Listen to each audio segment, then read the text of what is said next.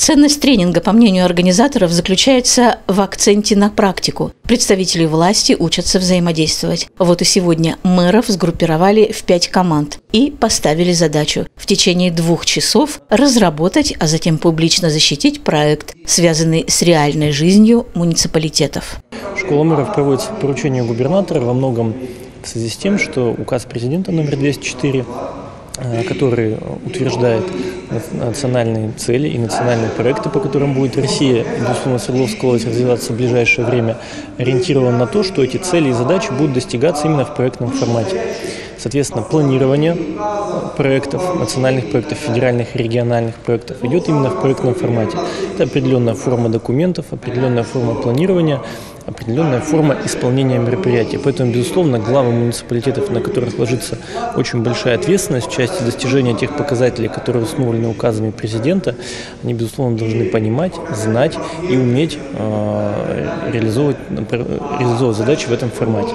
Как подчеркнул заместитель руководителя администрации губернатора Свердловской области Евгений Гурарий, специалисты департамента помогают главам в соответствии с их задачами формировать команды и офисы, которые будут достигать стратегических целей конкретного муниципалитета. В работе школы мэров приняли участие 26 глав муниципалитетов области, таких как Верхотурье, Кушва, Бесерт, Ревда, Каменск-Уральский. С точки зрения проектного управления, в любом случае, ну, новый, наверное, тренер, новый лектор, это ну, новый формат.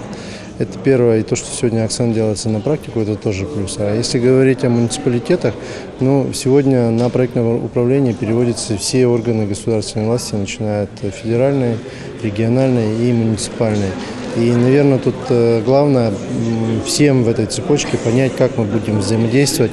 В первую очередь, в том числе и Э, при реализации федеральных, э, государственных, э, то есть региональных и муниципальных программ. Преподаватель научно-образовательного центра проектного менеджмента Российской академии народного хозяйства Андрей Кувшинов, который вел деловую игру, привел главам в пример японский подход к разработке проектов. По мнению японцев, любой проект, будь то строительство котельной, школы, стадиона, в конечном счете должен стать ценностью для людей. Глава города должен понимать разницу между результатом проекта и его эффективностью придерживаться графика проектных работ, а не откладывать их на месяцы по разным причинам, сказал он. По словам Кувшинова, разрабатывать и реализовывать проекты должна команда профессионалов, а не людей с улицы. А перенимать опыт соседних территорий, безусловно, стоит, но с умом. Мы мониторим э, проекты в части эффектов от их реализации, в части результатов. Эффекты э, возникают. Бывают э, положительные эффекты в проектах, бывают нет. Бывают проекты не достигают поставленных результатов.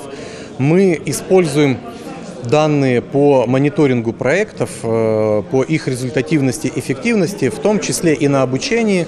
Рассказываем про положительные примеры, показываем примеры проектов, которые не достигли результатов для того, чтобы учиться на выученных уроках и не повторять ошибки в будущем. Умение грамотно разрабатывать проекты очень важно для глав, поскольку каждому мэру предстоит защищать в правительстве стратегию развития своей территории на ближайшие 15 лет. Ольга Фролова при содействии Департамента информационной политики Свердловской области.